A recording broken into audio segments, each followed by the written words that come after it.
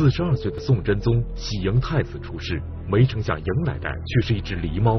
狸猫换太子一案究竟是空穴来风，还是确有其事？大宋谜案之狸猫换太子的真相。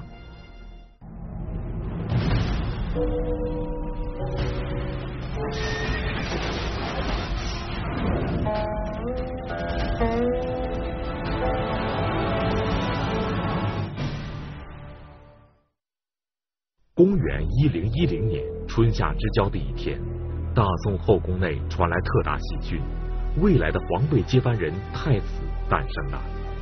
这让人到中年的宋真宗可以说是喜极而泣，因为在这个太子出世之前，他已经先后经受了丧失五个儿子的巨大悲痛。苦盼继承人的真宗终于苦尽甘来，看到了大宋未来的希望。然而让他万万没想到的是。当他亲眼看到这个新生儿的时候，竟然是一只剥了皮的狸猫，这就引出了宋朝历史上最为传奇的狸猫换太子谜案。本案的第一女主角就是工于心计的刘妃，她为了登上皇后的宝座，把竞争对手李妃所生之子换成了一只剥了皮的狸猫，污蔑李妃生下了妖孽。那么，这个离奇的宫廷疑案究竟是真是假？历史上狸猫换太子的来龙去脉究竟是怎么回事呢？中国宋史研究会会员、上海商学院李强副教授做客百家讲坛，为您精彩讲述大宋谜案之狸猫换太子的真相。狸猫换太子到底是怎么一个案情呢？按照这个《三侠五义》的说法，它其实是这样的。那么宋真宗四十几岁。没有儿子，非常着急。恰在这个时候呢，他有两个妃子，一个是刘妃，一个是李妃。这两个妃子都怀孕了。那么宋真宗非常高兴，就和这两个妃子约定啊，说你们俩谁先生了龙子，就让这个龙子呢做太子，然后呢你就做王后。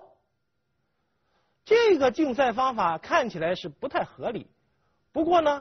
也大体公平，因为在古代啊，实实行的是嫡长子继承制，就算是太子吧，也有个先来后到啊，谁先生了儿子，谁的儿子当太子，这也符合古代的制度。然后呢，太子的母亲当然应该是皇后了，这都这都没有问题。但问题是呢，这个刘妃，她虽然貌若桃花，但是呢。心若蛇蝎，他掐着指头一算，哎呀，不对，为什么不对？根据他的计算来来说，那这个李妃呢，他可能生在前头，这一来就对他很不利了。李妃比他年轻，如果李妃先生了儿子，李妃的儿子是太子，李妃做了皇后，那哪有什么刘妃转正的机会啊？所以刘妃觉得不行。我一定要想个办法，确保我来做这个皇后。于是呢，他就找了一个太监郭槐，然后呢，两个人就商量了一个毒计，又串通了皇宫中的接生婆。果然是李妃先生了儿子，但是呢，他们就用一个剥了皮的狸猫，把李妃生下这个儿子给换掉了。那么，宋真宗本来的心非常兴高采烈的，哎，等着。抱娃娃了，可是没想到抱出来的是一个狸猫，是一个怪胎。他不仅是懊恼，而且是大怒。这是为什么呢？因为啊，古代啊，无论古今中外，对这个怪胎是非常忌讳的。那个古希腊斯巴达，哎，这个城邦呢，如果生下来的小孩如果有点什么残疾，或者是即使是健全。没什么残疾，但是看起来病殃殃的，不是那么生龙活虎，也都丢到丢到山崖底下不养活。那在中国呢？如果谁家生了一个怪胎，通常人们会认为，哎呀，这家人上辈子没干好事，或者做了什么坏事遭报应，所以大家对这个怪胎啊是非常的啊不接受这个事情。所以宋真宗勃然大怒，那么李妃啊也因此。啊，得罪了皇帝，被打入冷宫。那么，刘飞换出来的这个太子啊，怎么处理了呢？这个太子哪去了呢？按照刘飞的计划，这个太子要杀掉。但是刘飞啊，虽然这个人比较坏，可是呢，他还没坏到那个份儿上。他比那武则天来说还稍微强一点。历史上武则天为了宫廷争斗，他能亲手杀死自己的女儿。但刘妃，她不行，她自己虽然很坏，但是她自己下不了这个手。她让她的一个手下，让一个心腹宫女去干这坏事她不干。让谁去干呢？一个叫寇珠的宫女。寇珠这个宫女呢，虽然是刘妃的心腹，是坏人的手下，但这个人心地不坏，那属于可以教育好的女青年。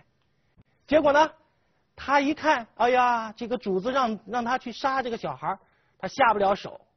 接下来这个过程就很复杂啊，简单说吧，这个小孩没死，那么被寇珠救了，然后运动到哪里去了呢？运动到宫外，到了八仙王家里，做了八仙王的养子。虽然说从小没爹没妈，亲爹亲妈不在身边，和这个养子生活的还是不错，在八贤王府上嘛，而且至少过得比他妈过得好。再说呢，刘飞这一头，他。用了阴谋诡计，把人家的孩子给换走啊！而且也以为是被杀掉了，把那个小孩杀掉了。过了几天呢，他也真生下一个儿子，他如愿以偿的让自己的儿子当了太子，然后呢，自己也理所当然了当了皇后。可以说他的愿望实现。可是啊，要想人不知，除非己莫为。刘飞做了这么多坏事儿，那么总有一天受到报应。他自己这个小孩长到六岁的时候，哎，夭折了。那没办法，这个时候宋真宗已经快五十岁了，好不容易有一个儿子，这又死掉了，非常难过，非常悲痛。可是你再悲痛也没办法，在皇宫里你得解决继承人的问题啊，你光悲痛没用，所以说。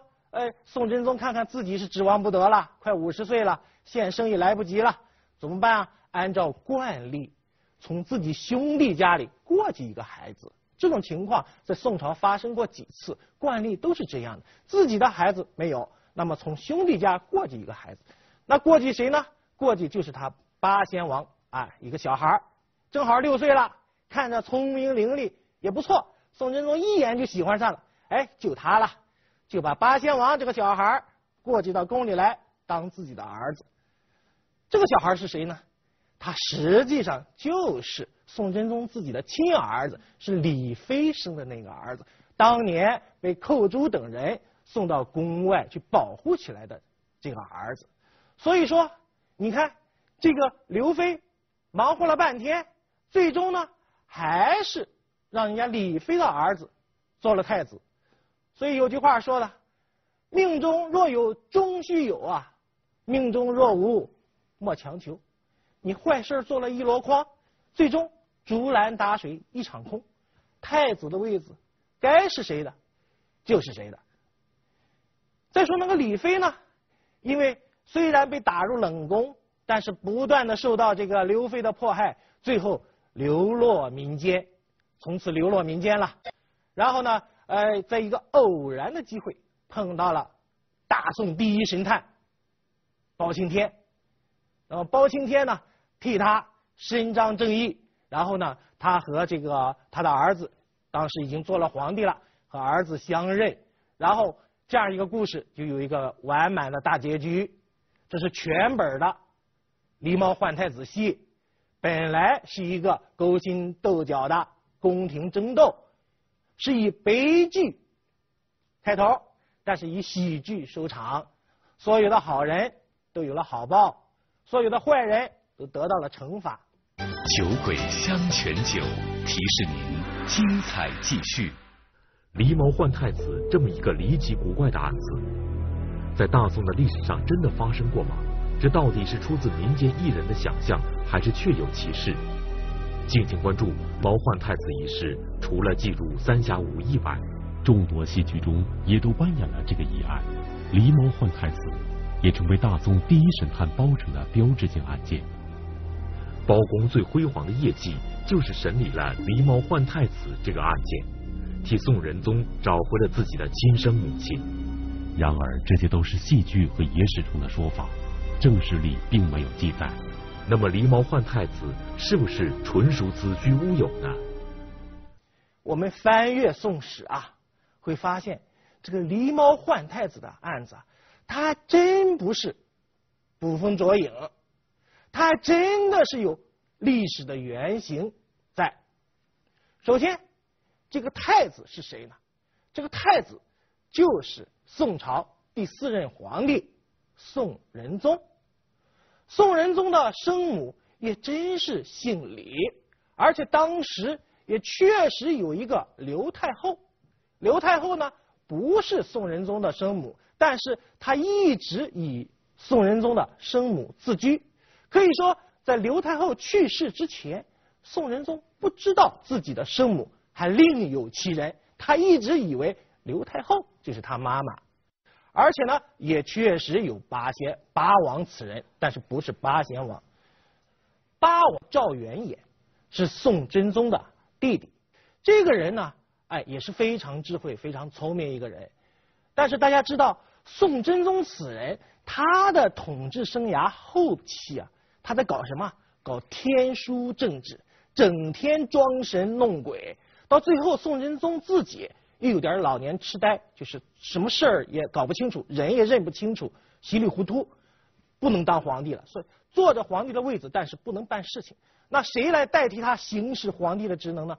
他的妻子就是刘皇后啊，当时是皇后。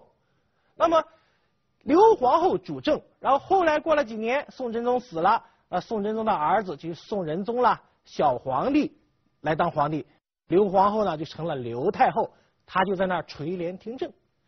这时候虽然这个刘太后没有当皇帝，可是她和皇帝一般无二，发布命令啊，这个出去的这个排场仪仗和皇帝一般无二，所以刘太后她就特别害怕她这个小叔子八王赵元衍啊。会来抢夺她的权利啊，或是怎么样？所以刘太后非常忌讳这个八王。刘太后主政的时候，把这个八王打压的很厉害。八王没办法，在家里闭门不出，什么事也不做，什么话也不说，一直是非常非常低调。所以刘太后一死呢，哎，八王立马就活跃出来了。这个八王本来啊，他也嗯不叫什么八王，他就是因为是。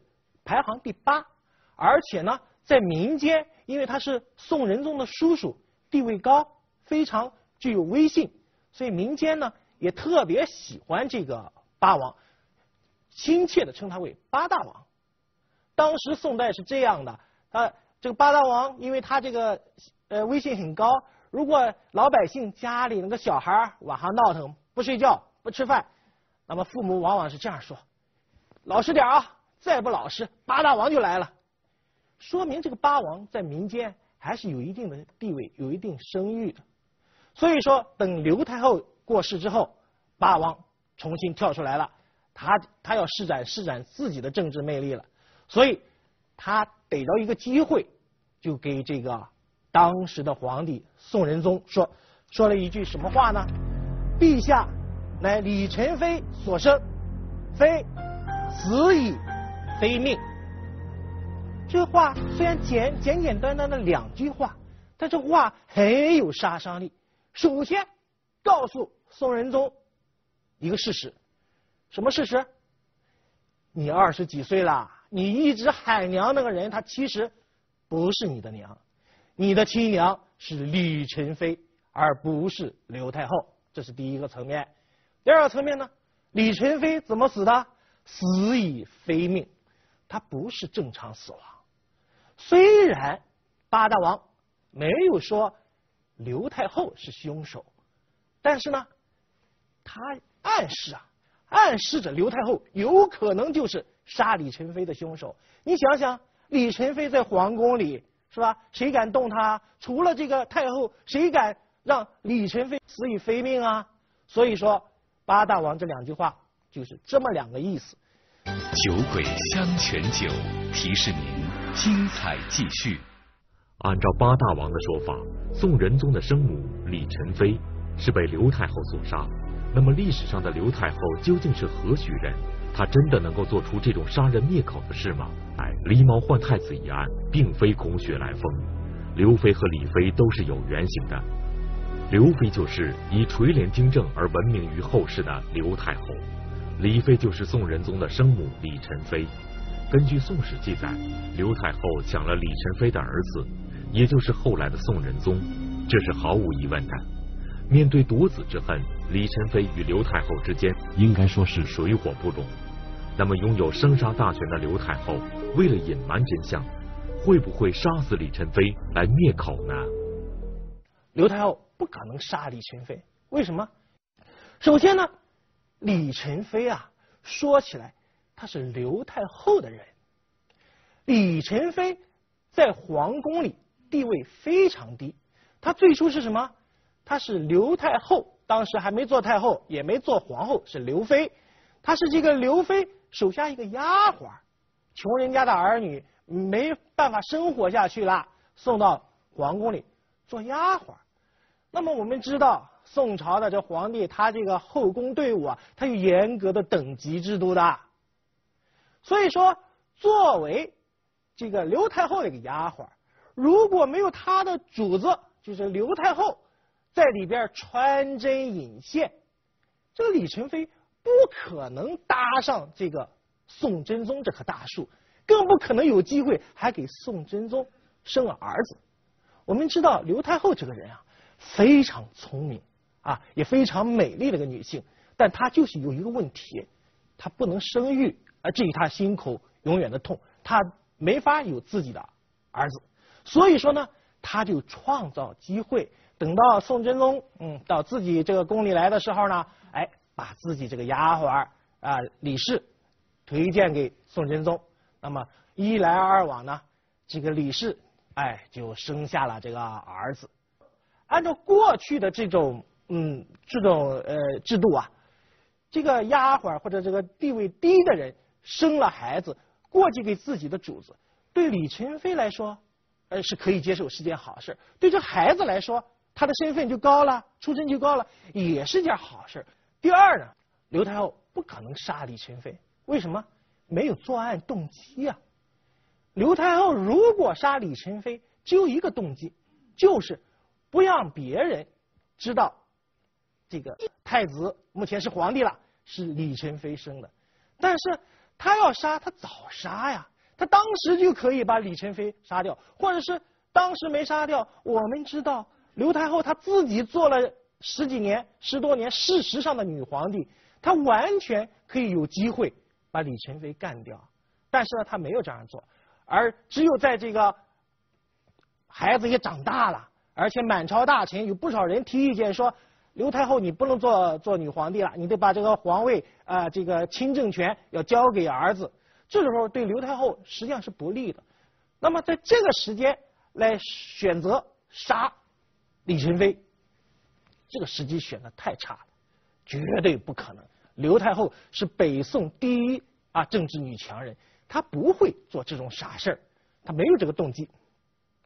然后呢，第三点，刘太后啊，实际上对这个李宸妃还是不错的，因为我们知道李宸妃是怎么进的宫，她是她家里穷啊，养不下去了进了宫。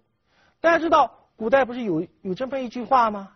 侯门一入深似海啊，就说你嫁到这个豪门里面，你和这个原来的生活就隔绝了，和原来的亲戚啊，哪怕你有什么初恋情人，这全都隔绝了，找不到的。这个刘太后如果想封杀李宸妃，最好的办法就是什么也不用做，什么也不用管，让他自生自灭好了。但是没有。刘太后呢，觉得，哎呀，这个李氏呢，啊，毕竟跟自己这么多年，而且把儿子过继给我自己，那么我总得做点事儿来帮帮他呢。然后刘太后就安排自己最信得过的一个人，去找李宸妃的娘家人，因为李宸妃生了皇子了，虽然别人他不想让别人知道这个事儿，刘太后知道啊，这样他的皇他的娘家的人应该提高一下地位啊。但是李宸妃的这娘家人因为都穷了、破落了，找不着了，只有一个弟弟叫李用和，天南地北的到处打工，找也找不见。那当时刘太后派的谁去找呢？这个最信任的人叫刘美，啊，名义上是刘太后的娘家哥哥刘美，啊，实际上不是，实际上是刘太后的前夫。我们知道刘太后嫁给皇帝之前，她是有前夫的，这前夫呢叫龚美，本来是这样，后来他们俩这个刘太后在跟了宋真宗之后呢，这个刘太后自己出身也很贫贱，也没有什么娘家人，早都不见了。那这不好啊，她总要找一个娘家人替自己壮壮声势啊。他就说这个前夫啊，干脆你也别做前夫了，做娘家哥哥吧，改姓刘。那么他这个娘家哥哥是这么来的，不无论怎么说，这个娘家哥哥是他的心腹。然后这个人办事也确实很扎实，很靠谱。所以说他就这个刘太后的娘家哥哥，奔了命的天南地北去找找这个李宸妃的娘家弟弟。还真被他找着了，啊，在一个建筑工地上，这个李永和这个穷小子没吃没喝在打工，非常穷，那被找到了，问问你姐姐是个什么样的人，什么几岁进的宫？哎，一看靠谱，就是他。然后李永和被这个刘太后提拔成这个皇帝身边的进士啊，高级公务员，一下子一个穷小子变成有钱人了。所以说这些事儿啊，李宸妃都非常感激刘太后的。刘太后对这个李宸妃照顾的还是相当不错的，可以说，在这种情况下，刘太后怎么可能来杀李宸妃呢？你要是为了灭口的话，你杀了李宸妃，你还得杀李宸妃的弟弟啊，弟弟也知道这个事儿。你杀了李宸妃的弟弟，你还得杀刘美啊，刘美还有手下替他干活的很多人都知道这个事儿，无底洞，杀不完。刘太后。不会这么愚蠢，哎，他不会在这件事上，因为为了要灭口杀这个呃李宸妃。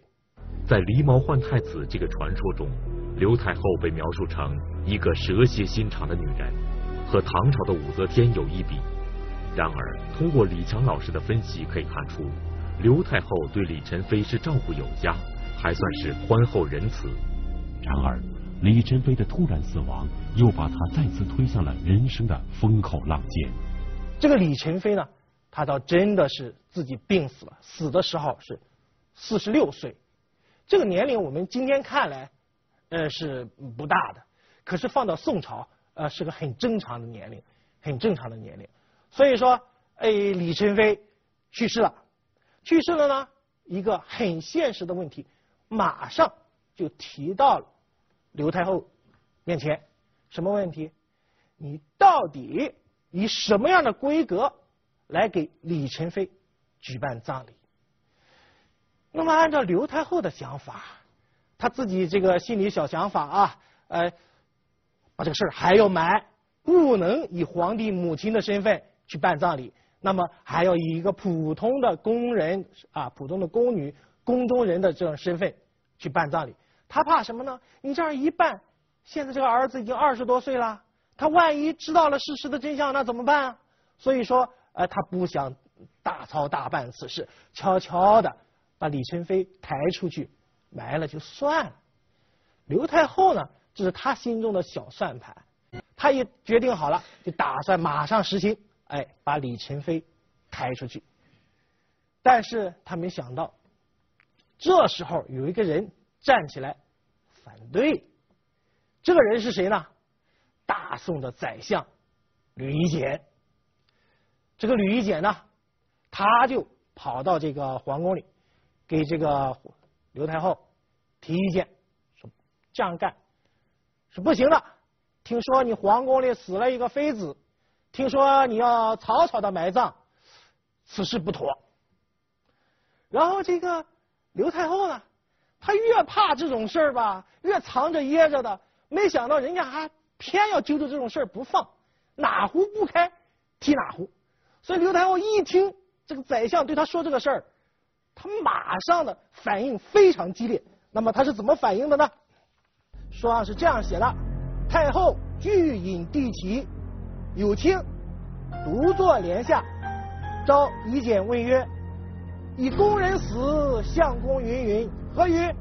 以简曰：“臣侍对宰相，事无内外，无不当遇。”太后怒曰：“相公与离间吾母子也。”以简从容对曰：“陛下不以刘氏为念，臣不敢言。上念刘氏，则丧礼亦从后。”大家知道啊，刘太后她是垂帘听政。什么是垂帘听政呢？就是皇帝啊坐在前面，前面是啊皇帝的宝座，皇帝宝座后面呢有一个帘子，然后这个主政的太后坐在这个帘子后面，所以这个宰相。来汇报工作啊，名义上不是给刘太后汇报，还是对着皇帝说的。但是皇帝你不能表达意见，哎，你只能在这当一个木偶一样的，哎，坐着不动。然后太后从他身后发言，所以说这个形象有点像那个傀儡戏啊。所以人家说这皇帝是傀儡皇帝，哎，就是这么来的。那么既然这个吕简向这个皇帝来说了。宫中的这个人不能这么草草埋葬。那帘子后边的这个刘太后啊，本来按照礼制，她是不能直接去面对大臣的。但现在她不管了，她哗的从这个椅子上跳起来，把帘子扒拉开，过来拉着这个儿子的手。宋仁宗啊，也二十多岁了，拉着手就走。为什么？因为宋仁宗已经成年了，他不是说一窍不通啊，说个什么事儿，他会懂的。所以刘刘太后特别害怕宋仁宗知道了这件事儿，所以先把宋仁宗哎一把拉走。过了一会儿，刘太后才回来，回来呢心里也平静一下，也想想，哎呦，刚才有点失态了啊，这个事情不对，不好。在这个大宋朝，我是老板，我说了算，我怕什么？所以说他就回来了，重新面对这个宰相。他说：“你这个宰相啊。”天下大事这么多，你问我们宫中这点小事干什么呢？啊，这实际上是暗示这个吕夷简，我们这个事儿你别管了，这是我们的家务事。可是这个吕夷简呢，偏偏不吃这一套。说我是大宋宰相，不管你宫内的事儿还是宫外的事儿，我都该管。说白了吧，李宸妃这个葬礼到底怎么办，必须得过我这一关。所以说。哎呀！这下子刘太后一看，这小子顶板啊！谁把你提拔了宰相，居然敢现在跟我这么叫板？实际上，吕夷简为什么这么干呢？也是有原因的。因为这个事儿啊，刘太后不是宋仁宗的母亲，这个事儿在皇宫里，在这高级官员一定圈子里，大家都知道的。如果是这种情况下，把宋仁宗的生母就这样草草的埋葬，将来啊。刘太后死了，拍拍屁股升天了，没事找不着刘太后的麻烦。可是皇帝知道这个事儿，他要找宰相的麻烦，要找官员的麻烦。更有原因是，这个皇帝的生母去世，你用这么草草的葬礼把他埋了，你你对历史没法交代啊。所以吕夷简很坚持。那么刘太后就非常的愤怒，那么说你难道是想挑拨离间吗？让我们母子失和吗？所以说，吕夷简这时候啊，他就施展了他的劝说艺术，他抓住这个中老年妇女的心理，觉得他最担心的什么？担心他的身后事。他说啊，太后啊，你要是不考虑你的娘家人，你爱咋地咋地，你想怎么埋都可以。你但凡考虑一下你娘家人今后的出路，我劝你还是把李宸妃好好的埋。实际上，刘太后她是个明白人，她就是在这个对待。儿子这件事上，他有点强迫症，明知道不对，他也要这样做。哎，没办法，因为他他就怕失去。他没想到吕夷简啊一语点破梦中人啊，他就是啊，将来我去世了，那么不可能送这个儿子不知道生母是谁，别人肯定会告诉他呀。那怎么办？我是没事了，我我去世了，那我娘家的人，不管真娘家假娘家，这这些刘美啊，什么侄子啊，这些人。肯定要倒霉啊！所以想想，还是哎，算了算了，听你宰相的话吧。你说怎么办就怎么办。吕夷简此人啊，在历史上地位并不怎么样，特别是他是那个范仲淹的头号政敌，所以说他一生的政治啊可取之处不多，但这件事儿确实办得非常漂亮，非常漂亮。然后李与吕夷简呢，就把这个李宸妃以皇后的啊皇太后的这种规格去埋葬了，然后呢，把他的棺木里灌上水银。这样保证身体不坏，所以说是这样一回事。酒鬼香泉酒提示您：精彩继续。从《宋史》中的记载来看，宋仁宗的生母李宸妃并没有受到刘太后的迫害，更没有流落到民间，而且最终以皇太后的身份风光下葬。狸猫换太子只不过是个传说，那么一个深藏后宫的隐秘事件，怎么会公诸于众？并被老百姓敷衍成为狸猫换太子的传说呢？狸猫又是如何成为这个事件的主角？大宋第一神探包拯又为什么被请来断案呢？那这个宋仁宗呢？这个人很有意思，在宋朝的皇帝里边啊，这个宋仁宗，我给他一个称号是超级宅男，从来不出皇宫，很少出皇宫，他一辈子的足迹。没有出过开封城，偶尔出几次皇宫，就求神求神，去去去到庙里拜一拜。大部分时间在皇宫里，而且当时呢，刘太后是主政的，所以说这个宋仁宗他的信息渠道是很闭塞的。那么现在呢，八大王出来说李宸妃是被杀害的，死于非命，那这个宋仁宗啊，他就非常气愤。又气又急又怒，怒的是自己喊了二十多年的这个亲娘也太坏了，所以在又气又急之下，他采取了两个极不理智的决策。什么决策呢？第一，派禁兵包围刘府，说起来是他舅舅家了，但现在事实证明啊不是亲舅舅，那包围刘府。第二，他就亲自。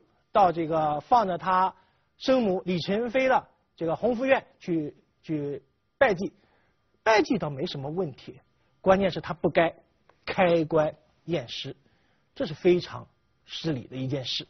但是呢，不管怎么样，做也就做了。呃，宋仁宗把他生母的棺棺木打开，打开一看是个什么情况呢？这个李宸妃躺在这棺木里是玉色如生。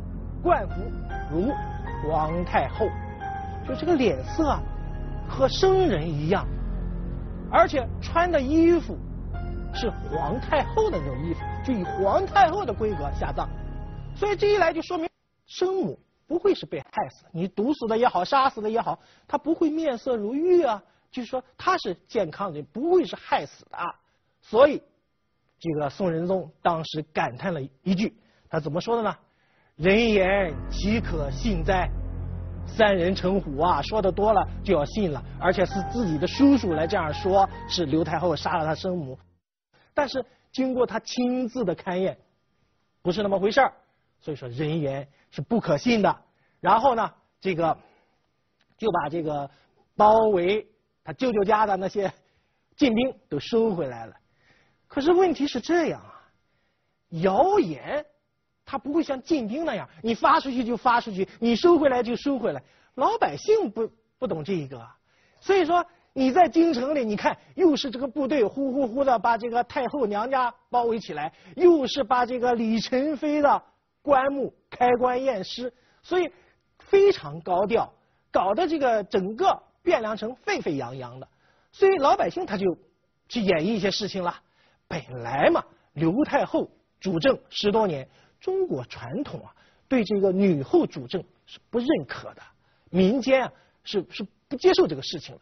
所以刘太后一死，本来就有很多不满的情绪，再借这样一个事件集中爆发，大家都纷纷说这个刘太后多么多么坏，多么多么的把李宸妃给害死了。实际上不是那么回事儿，可是呢，谣言已经无法控制，散向全国。所以说，这故事啊，不同的版本越传越神。等到元代的时候，狸猫换太子这个故事已经搬到了戏台之上，已经在这舞台上扮演了。事实上呢，哎，不是这样的。这就是这个啊狸猫换太子的真相。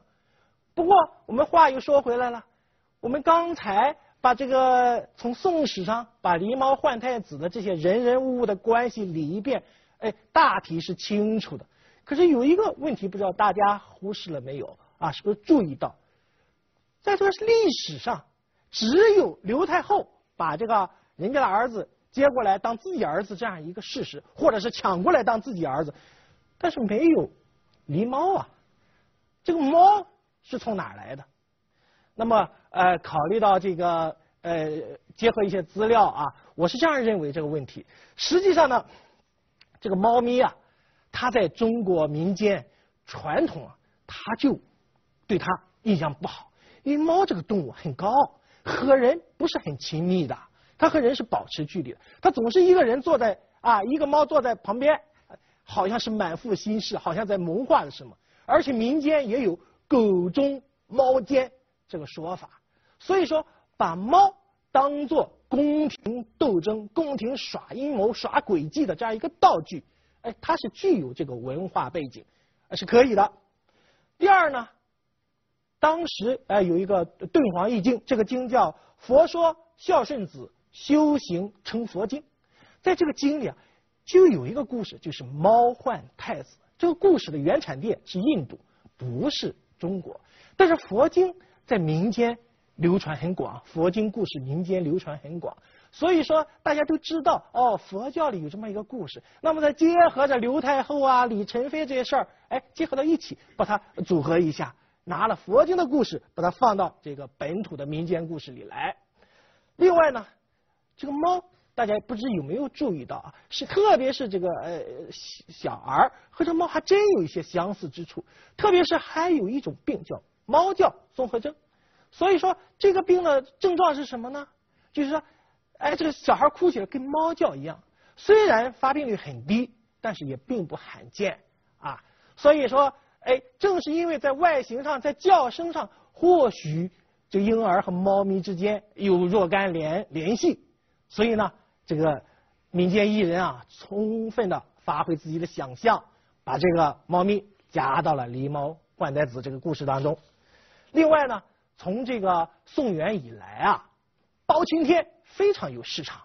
虽然狸猫换太子这个案子发生时，这个包青天啊，包拯他不在朝中，这个案子不可能是他办的。但是呢，这些民间艺人还是要把这个包青天加到这个故事里，这样这个故事会更加卖座。就好像现在这些大导演拍一个电影，呃，找一些明星，不管有用没用的，在这个电影里走个过场啊，在电影里露一下脸，提高一下票房，实际上是一个道理。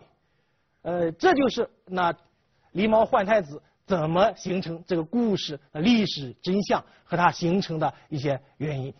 呃，今天讲座到这里，谢谢大家。